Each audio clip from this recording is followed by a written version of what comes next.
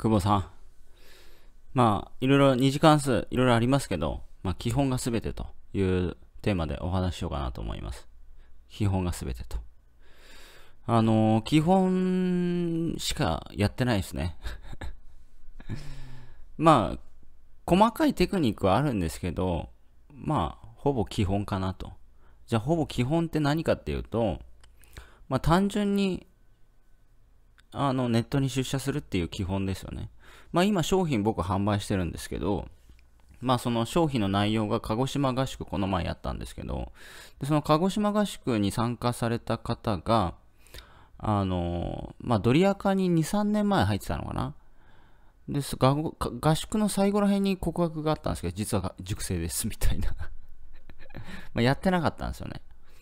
でまあいろいろと揉んでいろいろお話はしたんですけど、まあ、ネットで稼ぎたいんだったらネットに出社しろと。まずこの基本が全てかな。まあ、これをやらない限り始まらないかなと思いますね。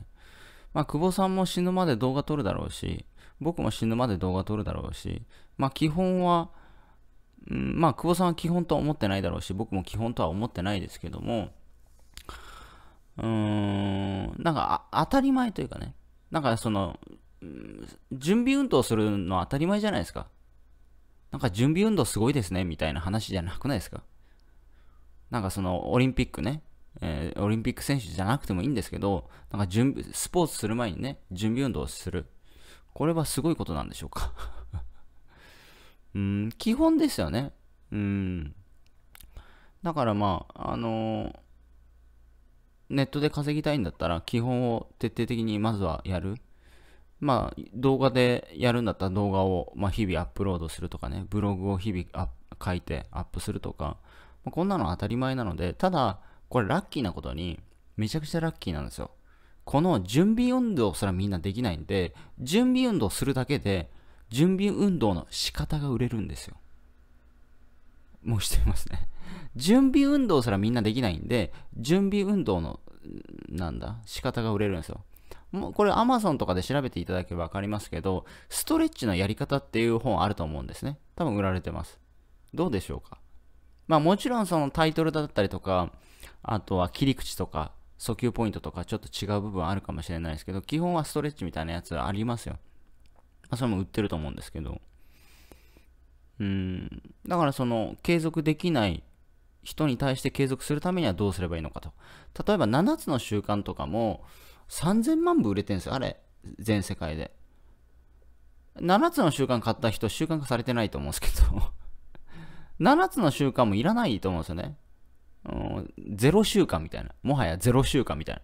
習慣じゃなくて当たり前にしろみたいなね いや、習慣にしようとするから習慣にできないんだよみたいな。いや、当たり前だと思って当たり前にやれみたいなねまあだって習慣の情報、習慣のやり方が3000万部売れるんですよ。やばないですかこれ。普通に考えると。普通に考えるというか、ちょっと違う側面で見ると、これすごいことじゃないですか。どれだけみんな怠けてんねんって話じゃないですか。どうすか？どれだけ人間怠けんねんみたいな。だからね、これね、人間怠けるので、これありがたいんですよね。ちゃんとやれば、あの、それだけで上位に立てるっていうね。ね、習慣できない人に習慣化のやり方を教えればいいっていう 当たり前のことをね。YouTube 毎日投稿できない人に対して、じゃあ毎日投稿するためにはどういうテクニックがあるのかみたいなね。たった30秒で動画アップロードする方法と。たった一つを覚えるだけで、あの、最低でも、なんだ、どうのこうのみたいな、ずっと続けられるみたいなね。うん。でもこの前ね、弱者の流儀っていうのも売ったんですよ。めっちゃ良かったですっていうね、結構あれ良かったですね。反応何人か来たんですけど。まあ、あの、いろんなこと言ってますけど、ただやれなんですけど。まあ、言葉汚くすると、いや、俺たち弱者なんだからやるしかねえだろっていう話なんですよ。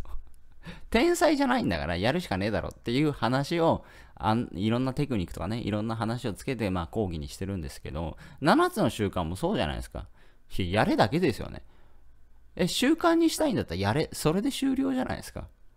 それをああだこうだね、なんかテクニカル的な部分で話すことによって、なんかすごいなって聞こえるだけであって、習慣にしたいんだったらやればいいだけじゃないですか えそう、それがあります？習慣にしたいんでしょ？じゃあやややりましょうみたいな 終了うん。面白いですね。いってらっしゃい。